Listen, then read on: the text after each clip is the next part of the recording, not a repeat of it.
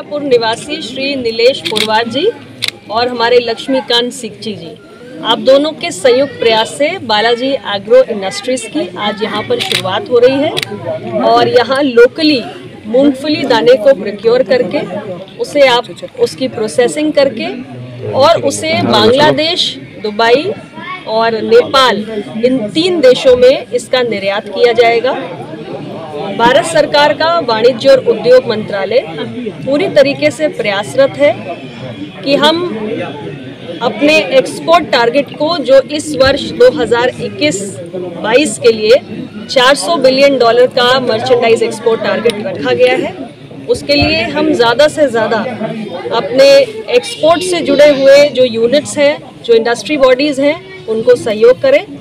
और मुझे खुशी है कि इस 400 बिलियन डॉलर के एक्सपोर्ट टारगेट को प्राप्त करने में आपने एक बहुत महत्वपूर्ण कदम उठाया है। यहाँ पे बालाजी एग्रो इंडस्ट्रीज़ के माध्यम से एक बड़े 50 करोड़ के लगभग का जो निर्यात का लक्ष्य है, मूंगफली दाना का, वो यहाँ से रखा गया है। तो मैं इनको बहुत शुभकामनाएँ देती हूँ और मैं ये भी कहना चाहती हूँ इस क्षेत्र के लोगों से कि महोबा की अपनी एक ऐतिहासिक, सांस्कृतिक पहचान है और यहाँ बहुत अपार क्षमताएँ भी हैं, संभावनाएँ भी हैं।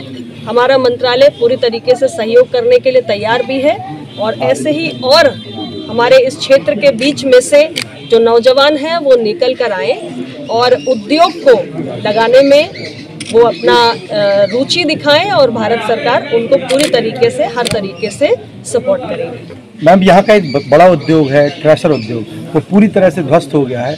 सरकार की क्या नीति रहेगी उसको आगे बढ़ाने के लिए?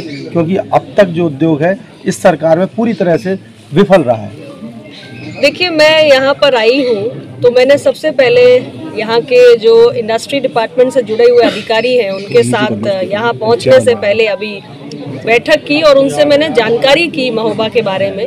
तो यहाँ की अपनी एक सांस्कृतिक विरासत है, उसके साथ जो आप बता रहे हैं स्टोन क्रशिंग का जो काम है यहाँ के लोग करते हैं, और पीतल का हैंडीक्राफ्ट का काम भी यहाँ पर होता है। तो मैंने ये जानने का प्रयास किया और इंडस्ट्री डिपार्टमेंट प्रयास कर रहा है, यहाँ पर एक इंडस्ट्रियल पार्क की स्थापना के लिए, उसके लिए ज़मीन अक्वायर की जा चुकी है और शासन को प्रस्ताव भेजा जा चुका है। जो मुझे जानकारी यहाँ के उद्योग विभाग के अधिकारियों के माध्यम से मिली है और हम पूरी कोशिश करेंगे कि उसके माध्यम से बेहतर से बेहतर सहूलियतें यहाँ के जो भी उद्योग धंधों से जुड़े हुए हमारा आम जनमानस है उसको मिल सके।